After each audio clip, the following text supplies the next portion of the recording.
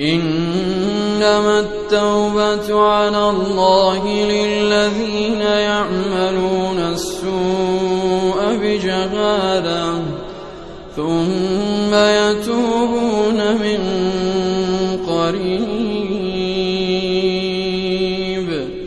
فأولئك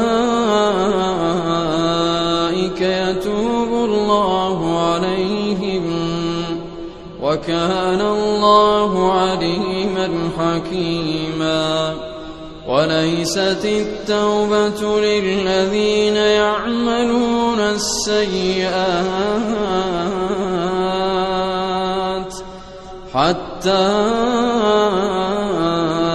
إذا حضر أحدهم الموت قال إني تبت الآن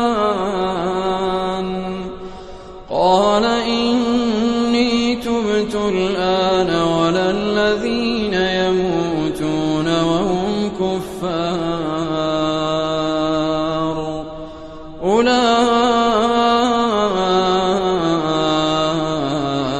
أعتدنا لهم عذابا أليما